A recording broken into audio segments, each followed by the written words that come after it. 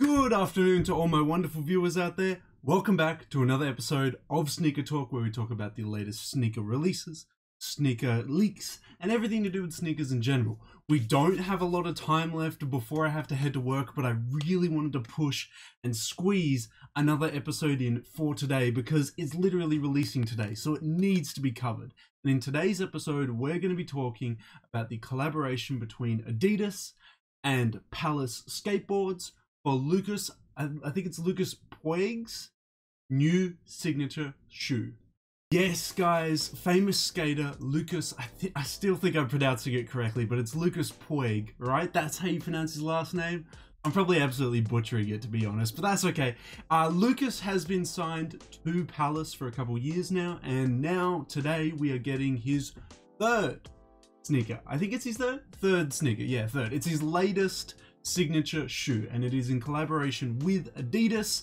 It is releasing in Palace's second week, which is today, uh, of their summer collection. So I was like, oh my god, we need to cover it. We didn't cover it in the drop list video, but we just literally just uploaded that, so definitely go check it out. I cover all the colors of all the pieces that is releasing in that week. It was actually quite hard to find a drop list for that week, but I'm glad that we're able to get that video out. Now, with very little time remaining, we have to get this one out as well, which is the Adidas and Palace collaboration that is releasing in that week as well. Now, how we're going to cover that, how we're going to cover the sneaker, the colorways, the release details, is by heading over to a Hypebeast article and covering all the details there. It has a short little video that goes for about a minute, so I think we should probably watch that as well. Um, but I don't know. Maybe we'll skip out on that and just cover what the article has to say. Maybe, actually, yeah, let's do that. That's probably the better way to go about it. But if you want me to keep covering upcoming Palace releases, upcoming Adidas releases, don't forget to leave this video a big old like, comment in the comment section down below, and subscribe to the channel as we are trying to hit 2,200 subs before the end of May. We can do it, guys. We've only got not too many days left. That's okay. I think we could do it though. So we've only got about, I think it's just over 30, just over 30 subs. We can do it, guys. Tell your mates, tell your family. Let's hit it. Let's get it. But anyway, quick, we gotta head over to the Hypebeast article so I can cover it today before I have to head to work. So let's head on over to the Hypebeast article to cover the new Lucas Puig Palace and Adidas sneaker. So the video is embedded into the article here. So if you guys want to watch the video, I'll link the article down in the description section below if you guys want to have a look at it there. But let's dive into what the article has to say about the release details, and then we'll dive into the actual sneakers colorway, because I think there's three colorways coming out for it, but let's have a look. So Palace and Adidas Skateboarding team up for Lucas Puig's newest signature shoe. The Adidas Puig is the French skate savant's third signature silhouette. So I think I was right, it was the third one. Palace and Adidas Skateboarding have teamed up to create a new signature shoe for Lucas Puig. The aptly named Puig is the French street skating icon, has been part of the team Adidas for close to a decade, and has already and already has two signature models under his belt. 2012's Lucas Puig Pro and 2016's Lucas Premier ADV. So the Puig is his third total release and he, uh, his first after signing to Palace in 2017. Offered in pink, white and black, the Puig is a low-cut silhouette built of supple monochromatic leather. Puig's name is stamped in gold by the lateral midfoot, three-stripe graphic with Palace's signature Tri-Ferg and Adidas logo done up in gold on each tongue. Ooh, fancy gold.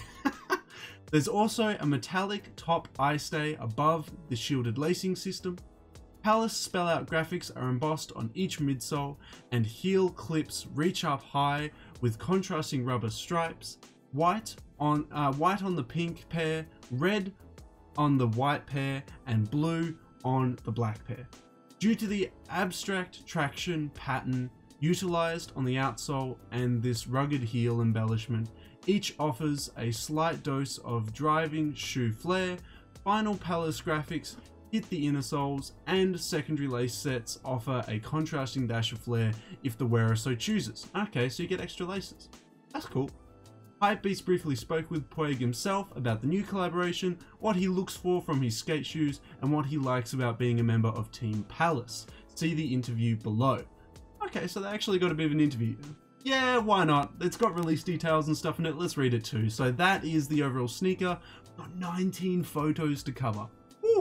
We got some angles.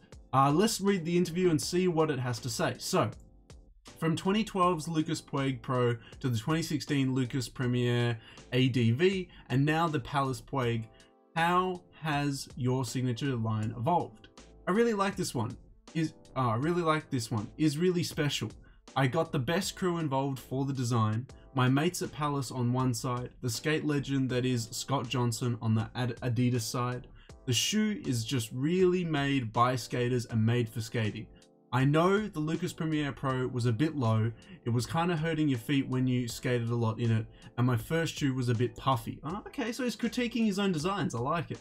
This Palace Puig shoe has just got everything I need to skate. Basically comfy, classy, tech.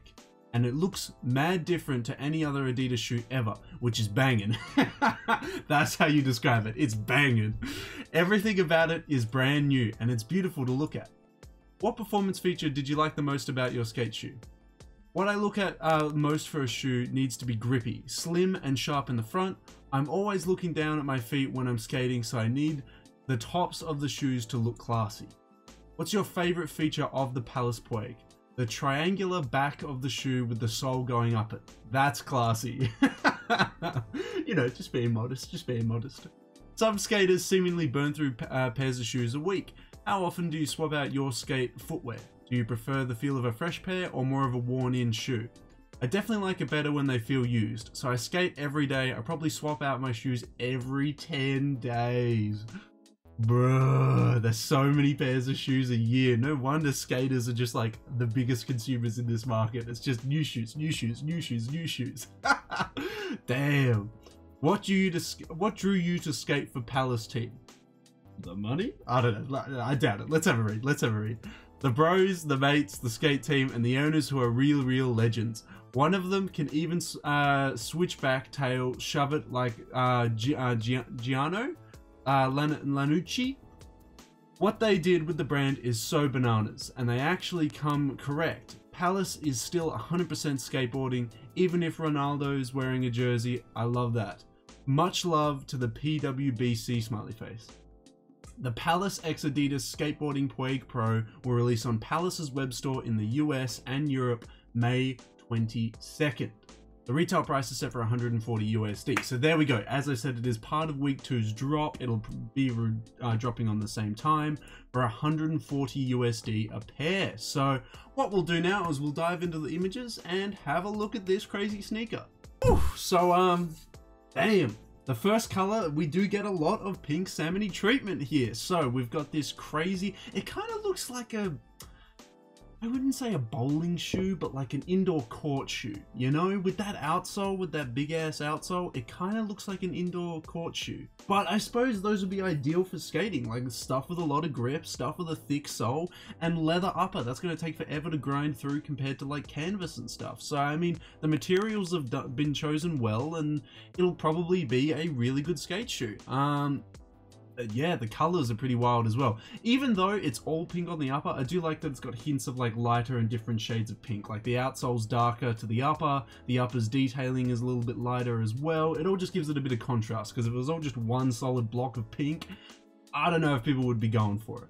Uh, it looks like some really high quality materials there. We'll keep diving through. It's cool, man. I love the dual branding on the um, toe there. Oh, sorry, on the tongue there it's pretty wild. It's pretty crazy. Um, go. Wow. Okay, so that that does come all the way up. So there's the obviously the top of the heel there, and it almost comes up to. Uh, no, it literally does, like about halfway. That's crazy. That is super high up. But I suppose it'll protect the back of the shoe from um, taking a lot of you know hits and stuff, and it'll probably help in some skate tricks and stuff like that. There's that crazy outsole. That would have a lot of grip on it with the um, directions the sole is heading, with all the different um, patterns on it and stuff, that'll definitely help with the grip on a skateboard. So that's pretty sick. Puig in gold on the side. Damn, that's that's shiny. And gold eyelets as well. Gold eyelets, crazy. Okay, so we've got an all white pair with red detailing on it. I kind of like this one more. Looks like a, yeah, like a uh, 90s indoor um, court shoe. I kind of vibe with this one. This one's kind of nice. Yeah, the white one's more for me. I didn't even realize there was a trefoil logo there. Oh my god. should have seen that before. Yeah, I like the white and red ones. The white and red ones are nice. Moving on, the black, black and blue. Oh, it's got the Palace P embossed all over the tongue. How did I not see that? Yeah, that's sick. That's sick. Um, you know I'm a fan of skate shoes. You know for me, I'm a fan of skate shoes. I love skate shoes. Normally high tops, high top sneakers are my kind of thing. But this is a really cool sneaker.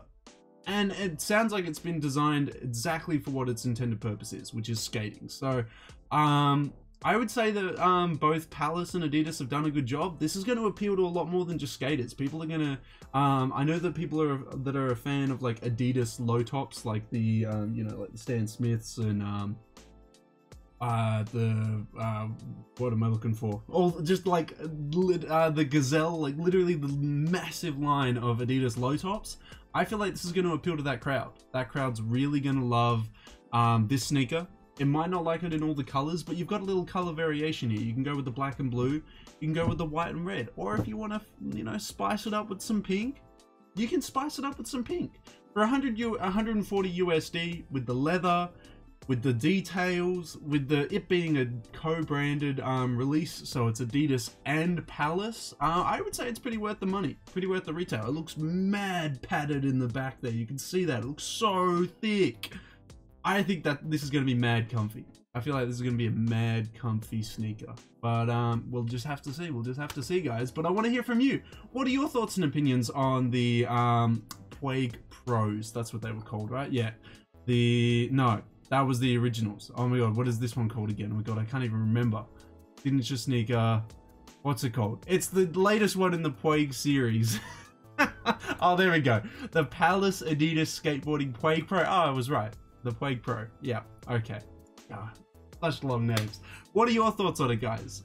Are you going to cop it for 140 USD from Palace's store when it drops at 11 a.m. GMT uh, for 140 USD?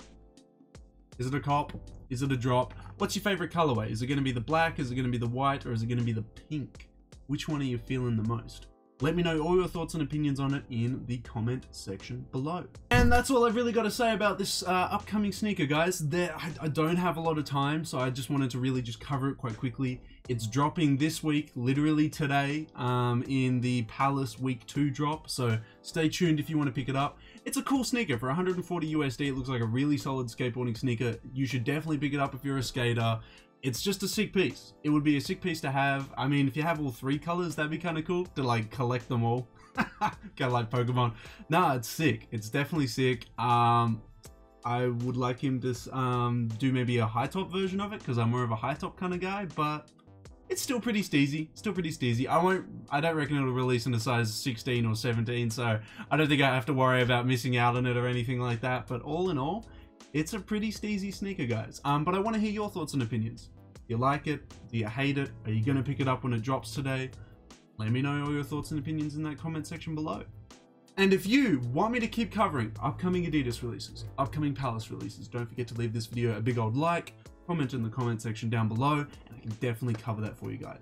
And if you're not subscribed, maybe subscribe today as we are trying to hit 2,200 subs by the end of May.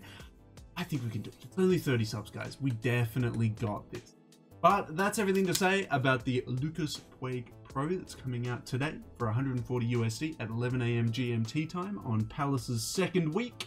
Let me know your thoughts and opinions in the comment section below. And until the next sneaker video, until the next streetwear video, until the next Palace skateboards video, guys, I'll catch you later.